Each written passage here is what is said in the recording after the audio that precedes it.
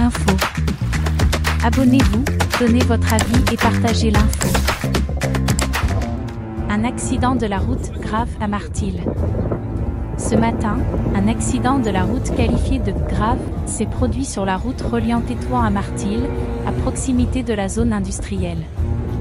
D'après des témoins présents sur les lieux de l'accident, une moto se dirigeant de Tétouan vers Martil aurait heurté violemment le trottoir, causant des blessures graves au conducteur. Le blessé a été rapidement transporté à l'hôpital régional Sania Ramel à Tétouan pour recevoir les soins nécessaires. Les forces de sécurité et de protection civile ont été alertées et sont intervenues rapidement pour sécuriser la zone et organiser la circulation routière. Les raisons de l'accident ne sont pas encore connues. Une enquête devra être menée pour déterminer les circonstances exactes de l'accident et les responsabilités éventuelles. Cet accident rappelle une fois de plus l'importance de la prudence et du respect des règles de la circulation routière. Info.